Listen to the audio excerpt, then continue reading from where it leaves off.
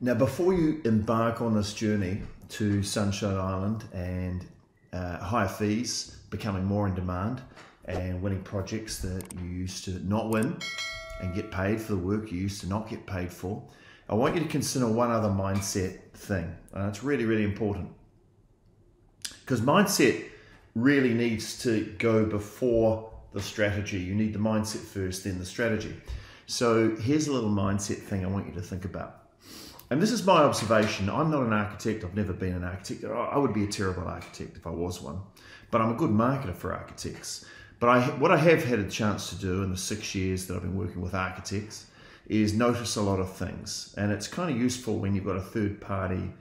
Um, well, I'm not really a third party, but you've got someone, someone who's who's just watching and observing, and not not locked in the in the mire of of all the issues and problems.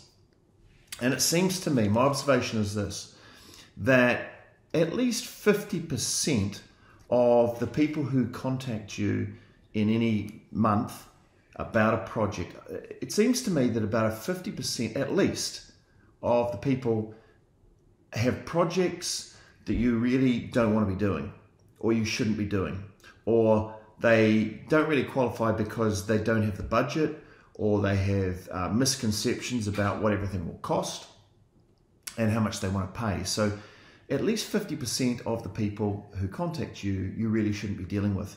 And it, it raises a really interesting question.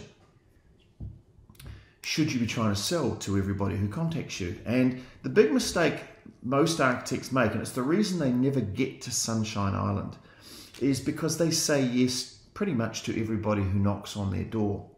And I'm going to propose to you, or, or make just get you to consider at least, the concept of no, right? The concept of no. The concept that if only at maximum 50% of the people who contact you are really worthy projects, that means 50% aren't. That means you should be saying no to at least 50% of the people who contact you.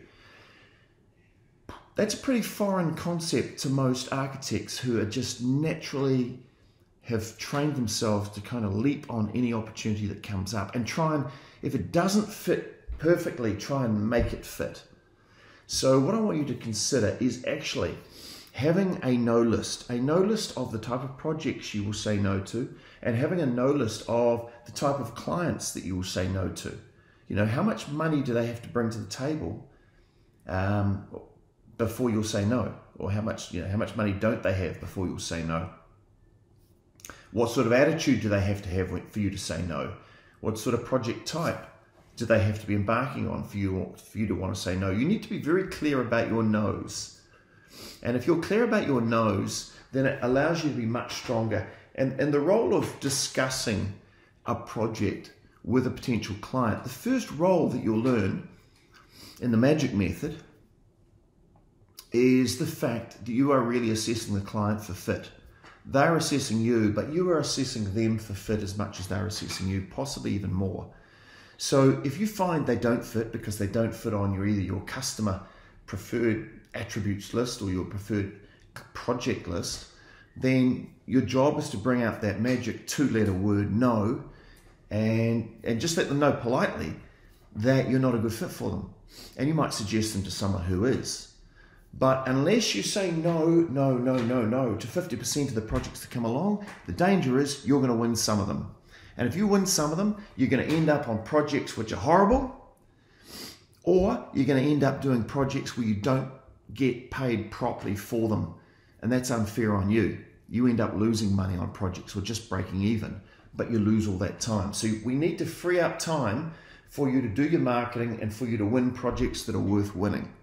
And that means eliminating the projects and the people who aren't worth winning. So have a think about that. Form your no list.